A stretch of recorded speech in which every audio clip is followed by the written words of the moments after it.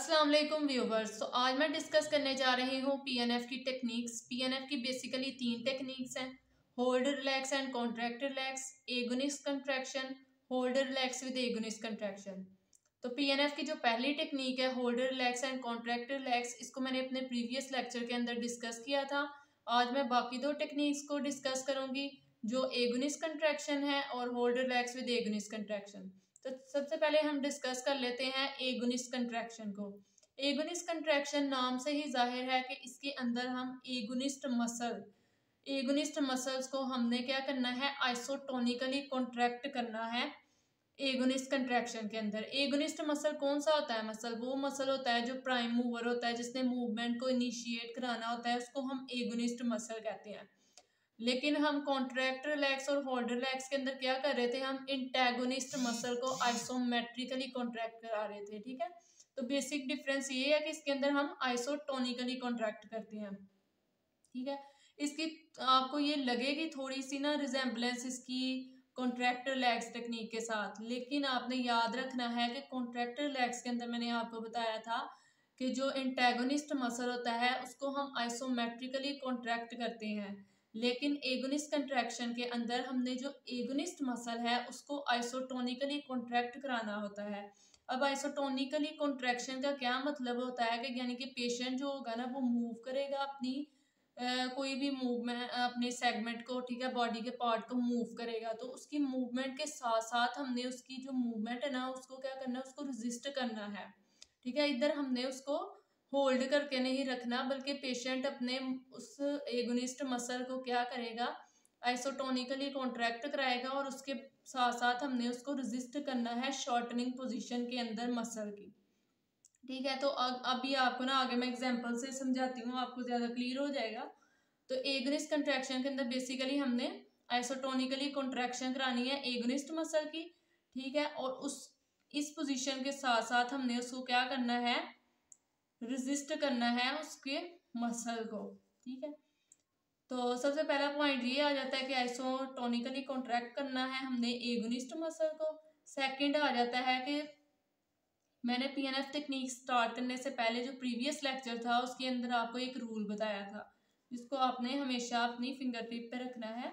वो रूल क्या था कि हमेशा जो रेंज लिमिटिंग मसल होगा ना, वो कौन सा होगा? वो इंटेगोनिस्ट मसल होगा, ठीक है? उसको हम इंटेगोनिस्ट मसल कहेंगे। ठीक है? तो अब ये आपने इसके अंदर भी याद रखना है, ठीक है?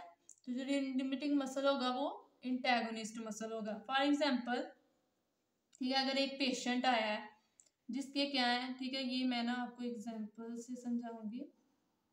एक पेशेंट आया है, ठीक है, ये बाइसेप्स मसल है, और ये ट्राइसेप्स मसल है। ठीक है, ये बाइसेप्स है और ये ट्राइसेप्स है। फॉर एग्ज़ाम्पल अगर एक पेशेंट आया आपके पास जिसके क्या है ट्राइसेप्स मसल टाइटन हुए हुए हैं। ट्राइसेप्स मसल उसके टाइटन हुए हुए हैं। तो रेंज लिमिटिंग मसल कौन सा हुआ? ट्राइसेप्स मसल हुआ। ठीक है रेंज लिमिटिंग मसल कौन सा हुआ? ट्राइसेप्स हुआ, ठीक है? रेंज लिमिटिंग मसल कौन सा होता है, उसको हम हमेशा क्या कहेंगे? इंटेगोनिस्ट मसल ट्राइसेप्स मसल है। ठीक है तो अब एगोनिस्ट मसल इसके अंदर कौन सा होगा? वो होंगे हमारे पास बाइसेप्स मसल ठीक है? अब हमने क्या करवानी है? हमने ये टेक्निक अप्लाई करनी है एगोनिस्ट कंट्रैक्शन की। तो अब हम क्या करेंगे? बाइसेप्स मसल ठीक है? उसकी क्या लिमिटेड हुई होगी यहाँ पे? अब उसके टाइटन हुए हैं ट्राइसेप्स मसल तो ये ट्राइसेप्स मसल कौन सी मूवमेंट को रेजिस्ट कर रहे होंगे? इसकी एक्सटेंशन को। ठीक है? उसकी एक्सटेंशन लिमिटेड होगी। क्योंकि लिमिटेड क्यों है? क्योंकि उसके ट्राइसेप्स मसल टाइटन हुए हुए हैं शॉर्टन हुए पड़े हैं और वो एक्सटेंशन को लिमिट कर रहे हैं। एक्सटेंशन की रेंज पूरी नहीं आ पा रही। तो अब हम क्या करेंगे? पेशेंट को कहेंगे कि वो ना फ्लैक्शन करे। जब पेशेंट जो है ना, वो फ्लैक्शन करेगा साथ साथ हम यानी कि इस तरफ़ हम कहेंगे उसको अपवर्ड मूव करें अपनी एल्बो को। तो पेशेंट मूव करेगा साथ साथ हम उसकी मूवमेंट को क्या करेंगे? रजिस्ट करेंगे। ठीक है? तो हम उसको डाउनवर्ड रजिस्ट हमारी जो हैंड की फोर्स होगी ना, वो डाउनवर्ड होगी और पेशेंट अपवर्ड एल्बो को मूव करेगा। और हमने वो साथ साथ मूव करता जाएगा करता जाएगा। और साथ साथ हमने उसकी मूवमेंट को क्या करना है? रजिस्ट करना है। यहाँ पे हम होल्ड नहीं करेंगे, ठीक है? फॉर एग्ज़ाम्पल ठीक है, ये है एल्बो है पेशेंट का। तो पेशेंट को हम कहेंगे वो फ्लैक्शन में मूव करे, यानी कि अपवर्ड मूव करे। तो पेशेंट जो है ना, वो अपवर्ड मूव करेगा तो साथ में हमने वो मूवमेंट करेगा। साथ साथ हम उसकी मूवमेंट को क्या करेंगे? रजिस्ट करेंगे, ठीक है? तो ये होती है एगोनिस्टिक कंट्रैक्शन इसके अंदर हम जो एगोनिस्ट मसल है, उसको क्या कर रहे हैं? इसके अंदर जो बेसिक मैकेनिज्म हो रहा है वो ये हो रहा है कि इसके अंदर हम आइसोटोनिकली कॉन्ट्रैक्ट करा रहे हैं एगोनिस्ट मसल को। जब ये आइसोटोनिकली एगोनिस्ट मसल कॉन्ट्रैक्शन हो रही है ना तो इसकी वजह से जो रेसिप्रोकल इनहिबिशन हो रही है, वो हो रही है ट्राइसेप्स मसल की। ठीक है, ये रेसिप्रोकली इनहिबिट हो रहे हैं। रेसिप्रोकल इनहिबिशन की वजह से ये क्या हो रहे हैं? टाइटन मसल इनकी लेंथनिंग हो रही है। तो बेसिकली ये मैकेनिज्म हो रहा होता है इनके अंदर। ठीक है, अब मैं एक और एग्जांपल देती हूँ, इससे आपका और ज़्यादा क्लियर हो जाएगा कंसेप्ट ठीक है, अगर एक पेशेंट आया।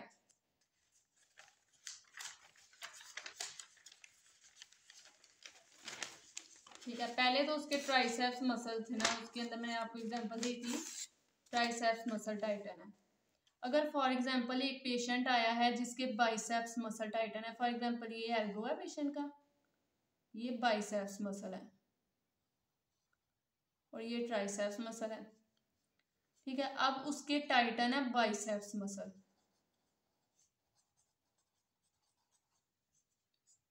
और ये ट्राइसेप्स है।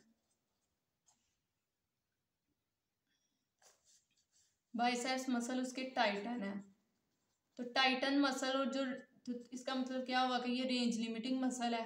और जो रेंज लिमिटिंग मसल होता है, वो हमेशा क्या होगा? इंटेगोनिस्ट होगा।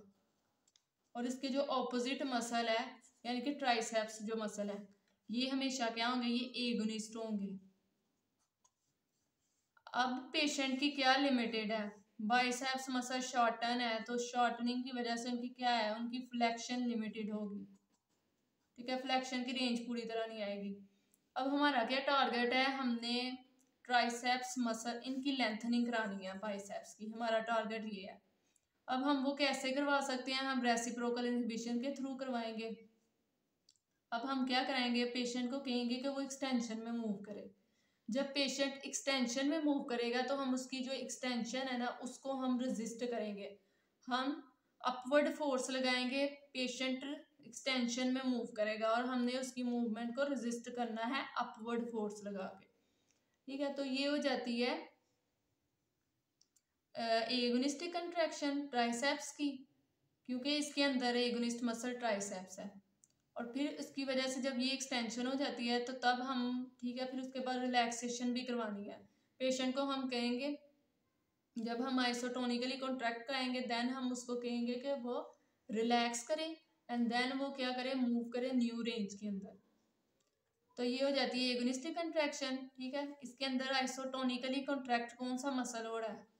इसके अंदर आइसोटोनिकली कॉन्ट्रैक्ट हो रहा है ट्राइसेप्स मसल जब ये आइसोटोनिकली कॉन्ट्रैक्ट होगा तो रेसिप्रोकल इनहिबिशन होगी बाइसेप्स मसल्स के अंदर और ये क्या होंगे? ये लेंथन हो जाएँगे। ठीक है? इस तरह हमारा टारगेट अचीव हो जाएगा कि हमने फ्लैक्शन को जो लिमिटेड है, उसको हमने फ्लैक्शन की रेंज को पूरा करना है, ठीक है? उसको इंक्रीज करना है रेंज ऑफ़ मोशन को। कौन सी रेंज ऑफ़ मोशन को? फ्लैक्शन को।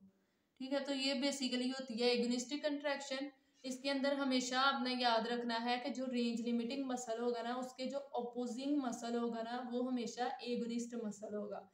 और उसको हमने आइसोटोनिकली कॉन्ट्रैक्ट कराना है। जब हम उसको आइसोटोनिकली कॉन्ट्रैक्ट कराएँगे तो उसकी आइसोटोनिकली कॉन्ट्रैक्शन की वजह से जो रेंज लिमिटिंग मसल होगा, उसके अंदर रेसिप्रोकल इनहिबिशन होगी और वो रेसिप्रोकल इनहिबिशन की वजह से वो क्या हो जाएगा? वो लेंथन होगा। तो ये बेसिक मैकेनिज्म होता है एगोनिस्टिक कंट्रैक्शन का। फिर जो नेक्स्ट टेक्निक आ जाती है, वो इन दोनों को कंबाइन है, ठीक है? इसके अंदर दोनों ही आ जाती हैं टेक्निक्स जो पहली तो मैंने आपको बताई है ना होल्ड रिलैक्स एंड देन मैंने आपको बताई है एगोनिस्टिक कंट्रैक्शन ठीक है? तो ये दोनों टेक्निक्स को जब हम कंबाइन कर लेते हैं तो वो थर्ड टेक्निक बन जाती है, जो आ जाती है hold relax with agonist contraction